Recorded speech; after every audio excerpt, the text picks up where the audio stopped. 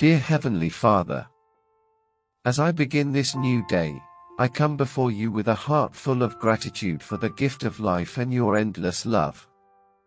I surrender this day into your loving hands and invite your presence to guide me in all that I do. Father, I ask for your blessings and favor upon my endeavors today. Help me to be diligent and productive in my work, and may I find fulfillment in serving others and making a positive impact in their lives. As I embark on this day, I pray for your wisdom to make wise decisions, your discernment to recognize the right path, and your guidance to lead me along the way. May my actions and words bring glory to your name and reflect the character of Christ.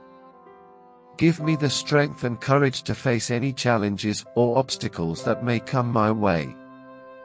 Open my heart and mind to your truth, and fill me with your Holy Spirit that I may walk in alignment with your will. Thank you, Father, for the precious gift of this day. May it be a day filled with joy, peace, and purpose. I commit it all to you and trust that you will lead me in the path of righteousness. Show me your ways, Lord, teach me your paths.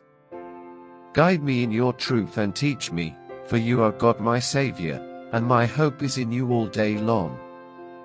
Psalm 25 verses 4 to 5. To you, Father, I give all the praise, honor, and glory. In Jesus' name, I pray. Amen. Thank you for watching. I hope you enjoyed the video. If you did, please like and subscribe to the channel. See you next time.